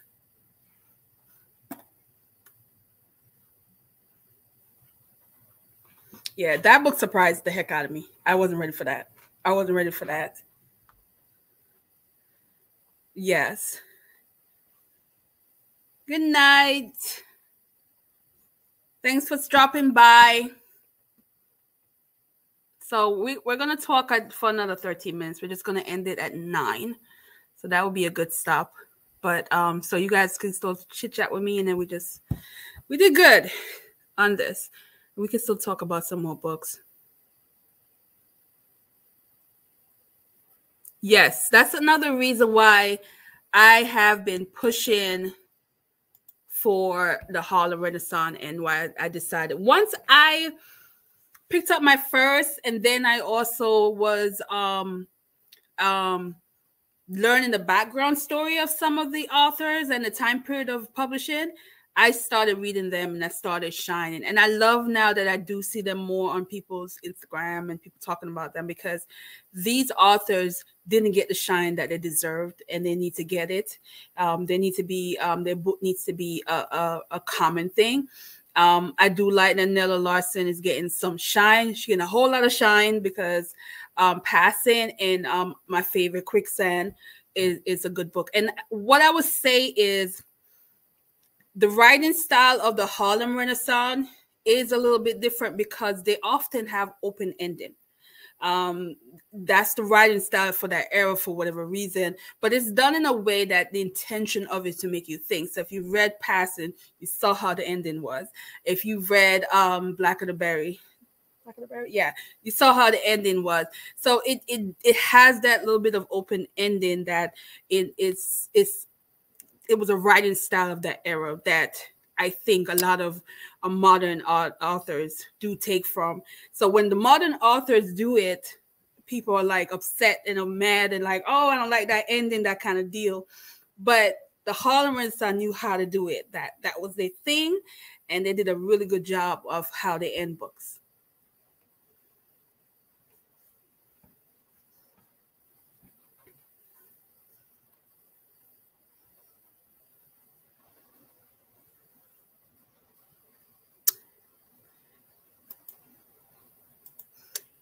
Yeah, we can definitely do a buddy read.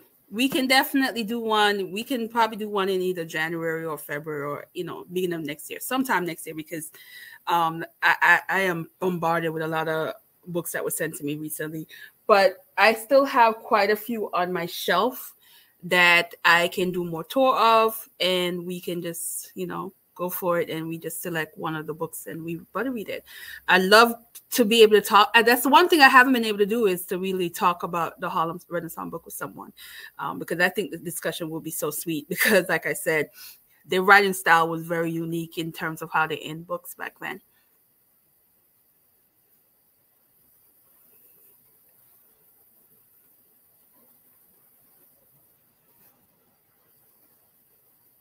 Yeah, we could do another live discussion. Um, Mad World. Yeah, we definitely can do that. Um, so yeah, maybe I can just do a Harlem Renaissance the next time, and and we just pick one, um, go to shelf, and then I'll just have some, and then we could just you know pick one, maybe do another poll, and we can go through that. Um, like I said, they're short, so it's not something you're gonna need a long time to read. Um, their book tend to be, like I said, 300 pages and less, or under 200 pages. So, yeah. But you know for now if you guys have not read this one this one is a hundred and 20 pages. This is 120 pages but it flies by because there's so much going on. But this is a, a satire yeah very sarcastic but make you think deal kind of book. So yeah i definitely think you you know if you guys haven't read this put on your TBR. You, you, you can read this in one in a in a sitting.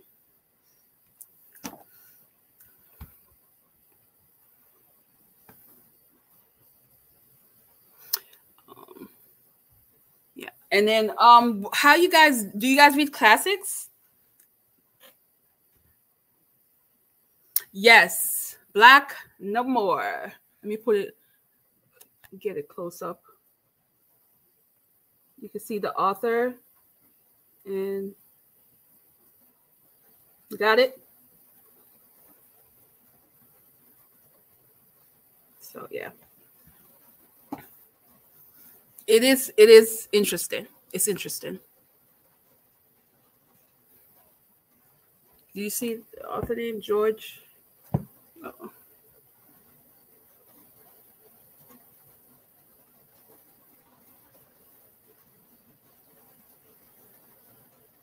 All right.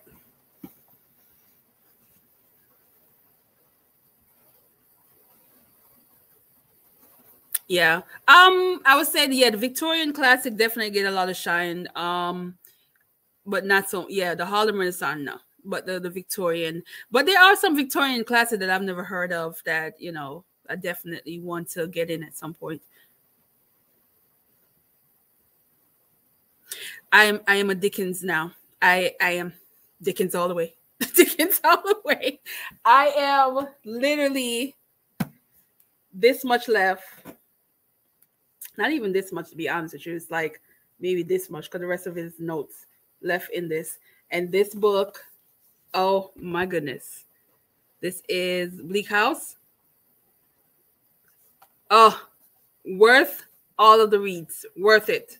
I was so much I mean, I've heard so many good things about it, but I didn't realize it was going to be such an epic read. And Dickens, Dickens is that author that we just have to accept that he's a, he was not a good guy.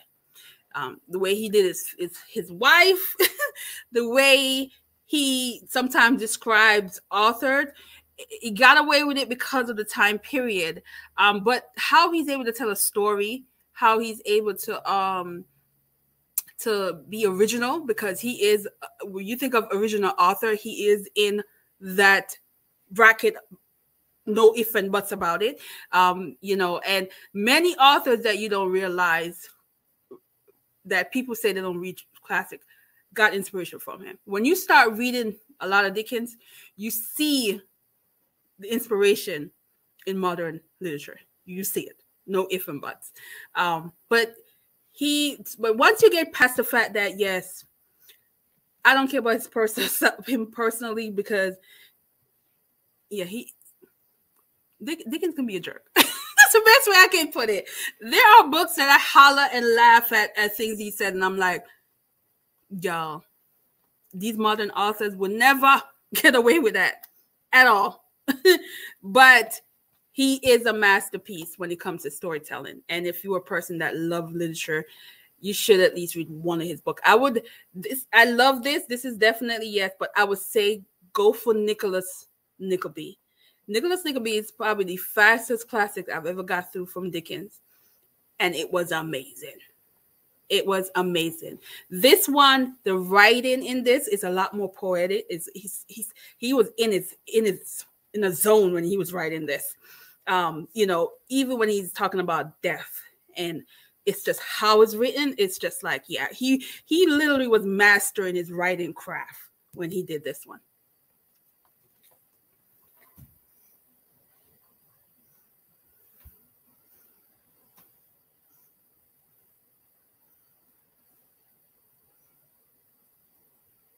Um, the first Dickens book I read was uh A Tale of Two City. And I wanted to throw that book. I wanted to go dig the man up. I could not. That ending took me out. I was mad. Um, what I would say about Dickens, if I read if I read Dickens in high school, I would have hated the experience. I was not in that level of reading to enjoy and appreciate Dickens at all. If you gave this book to me 15 years ago, I probably still wouldn't have appreciated and being able to get into the storyline and get the humor and get the the the suspense and the, the the writing style i wouldn't appreciate it then i think dickens is a is is a author that is not for everyone and also certain part um certain time in your life where your reading experience is going to be different. I appreciate him now, but I'm gonna tell you right now. Anytime you, if people tell me they read this in high school, I was like, hell yeah, I wouldn't have liked it. I would have been like you too. I would have not been a part of this Dickens situation in high school at all. So it, it, it comes with years of experience and and taste. My tastes changed over the years, and I started liking classic and enjoyed and laughed. I have buddy read a few with Dee and we've laughed because Dickens is a comedian too.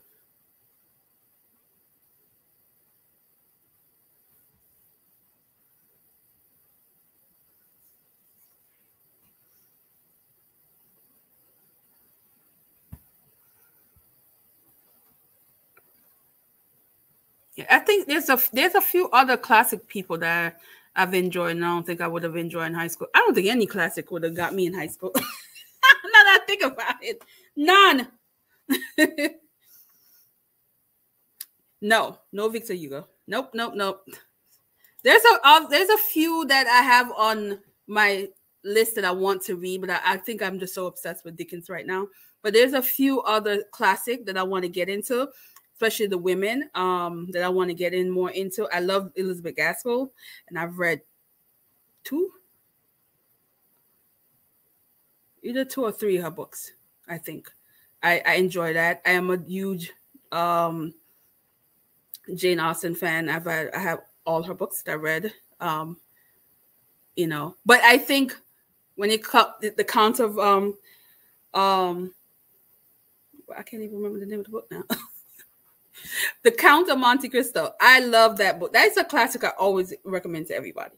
You should read that book. It's a chunker. It's 100 it's 1200 pages. So it's, it's big. but it is it is a masterpiece. There's five star, no if and but. I don't know anybody that did not like that book. And you know, it's a classic that I think a lot of people, but those are kind of classic that are not based on romance so much. It's more of the trickery, money, lying, survival. So because of the action packed stuff that you get in there, it, it makes it easier to read.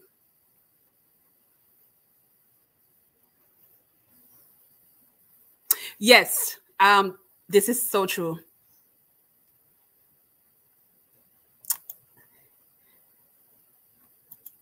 Yeah, oh yeah, my mom, yeah, my mom's funny. Yeah.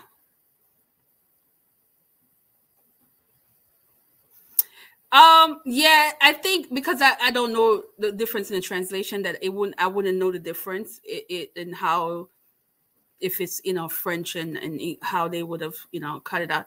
I've been lucky with the Penguin Penguin Classic. I hadn't had any issue with the translation. I think the trans not the translation, but the um editing, because you know some of these books get edited 50 million times. But the translation to me has worked well for me. It makes sense. I don't see it where I'm like confused of the you know the sentence structure and all that. So I stick with the Penguin Random House. I know there's several different um edition for the classic, but the penguin seems to work for me right now.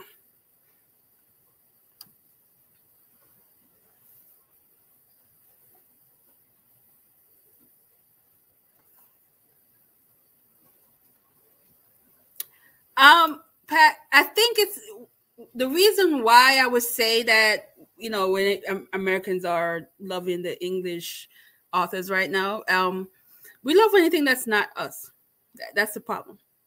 You know, I think you guys want maybe what we're publishing, and we want what y'all publishing. so it's just it's weird, but it goes and it comes and goes because it's just a trend right now. Like people, especially like African writers, African writers are doing very well right now. There's a lot of desire to read African writers, um, which is a good thing because you know some of them took years. I mean, they don't have a long history of publishing. Um, so it comes and it goes, and you never know what's going to be tomorrow because right now um, people are seeking out more Black authors. We don't know how long that's to last, but we're going to enjoy it while we can, that kind of deal.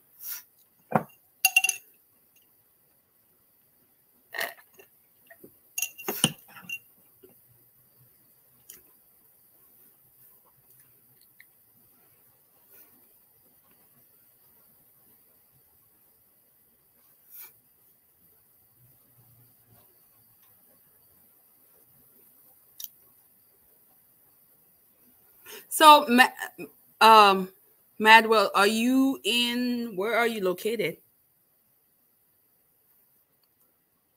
So you love it in French. Are you in France?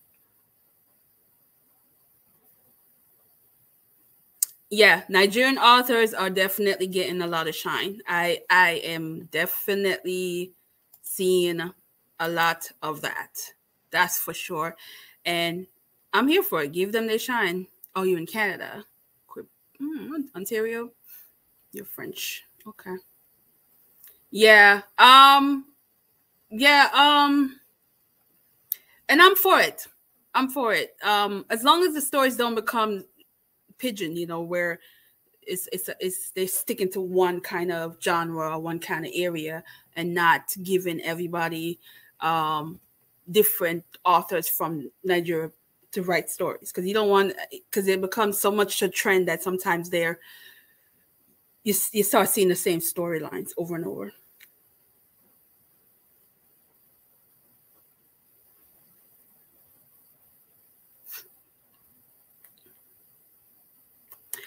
Um, Pat, yeah, um, they do that here too. Um, I think you don't get to see a lot of people reading classic for leisure, like me. It's it's there's this is not an academic situation.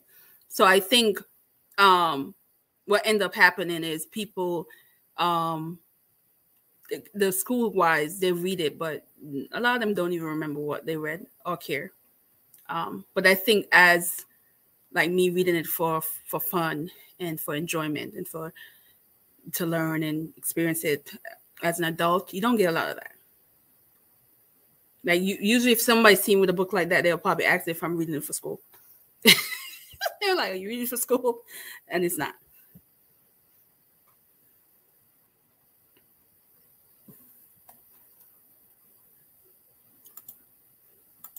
Well, you know, I, I love me some Chimamanda, but she doesn't have anything new, and I know she's a little bit on the controversial side now. but I don't know a lot of ones that I would say like you know I, have read quite a few, but I don't have like where I'm like, oh yeah, go read this author, that author. So, but I know I have some that I've read this year, so maybe you can check my channel and see some of them out.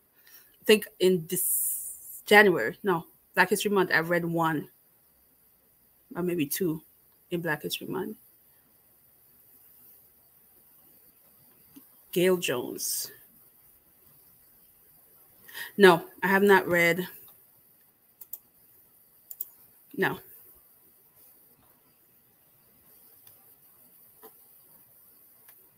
Yeah, uh, Madwell, I got about 30 new authors looking at me right now that I just recently got. I'm not adding any more new authors to my list yet until I can get through these books that recently got sent to me.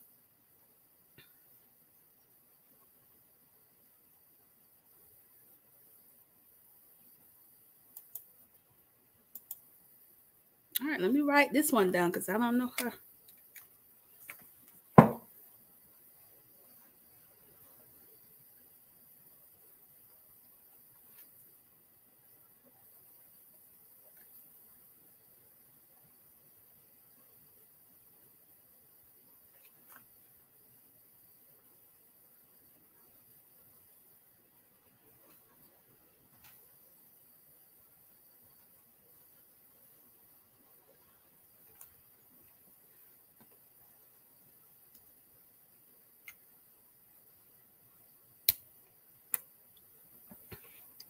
Oh, I'm I'm I'm writing it down too.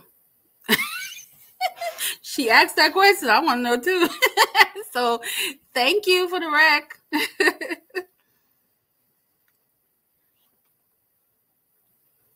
but yeah, but um that book, the um the Butter Honey Pig, I would definitely, I would definitely um put it on my list for next year. Um can't do it for the end of the year. Yeah, I have uh, probably about out of the 30 book that was sent to me, I believe 10 of them were um nonfiction. Guys, y'all hear that rain? it's pouring outside.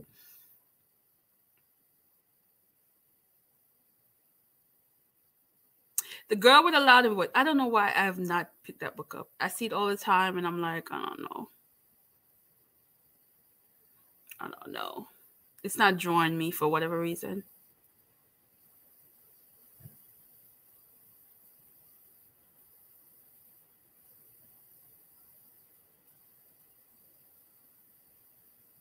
Don't talk about the snow. No, no, no. I'm in a snow area. I don't even want to think about it. Like right now, it's pouring rain, and all I'm thinking, thank God it's not cold. It's like probably 50 degrees. Um, because if it wasn't, it, it'd probably be snow. It, yeah, I'm. I don't even want to think about it. I hate winter. It's 52 degrees, thank God, because my goodness.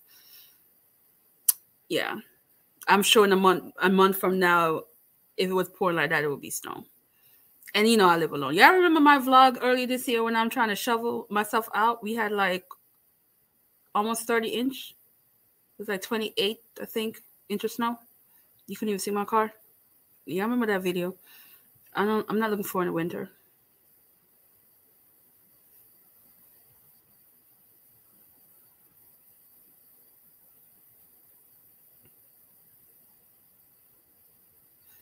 So we are a little bit over the eight, 908. So we're gonna end this here. Um, hopefully I can save this with no problem. It's my first time, guys. So let's hope I can save this because I know some people would love to watch this. But yeah, but we're gonna end this, and I'm so so glad you guys came out. This was a, a great experience, and um, I'll definitely do it again since it, it worked out. And thanks for sticking with me because you know for the first few minutes when a little technical difficulty here. But i am um, now that I know what I'm doing, and if I do it more often, I'll get used to it, right? So thanks for you know joining me. Thanks for reading this book with me. I love it as well, and I I I, I thought it was a beautifully written and the storyline and everything about it was really good. So thank you so much, and I will see you another one. There's gonna be a lot more videos this week because I have to do my my what I feel about the booker, the, the six. I've finished the six books, and also my do my my wrap up for the month. And nine Rama starts next week. So watch my videos and support me and all that good stuff. I love you guys. And this was fun. This was so much fun. Thank you guys.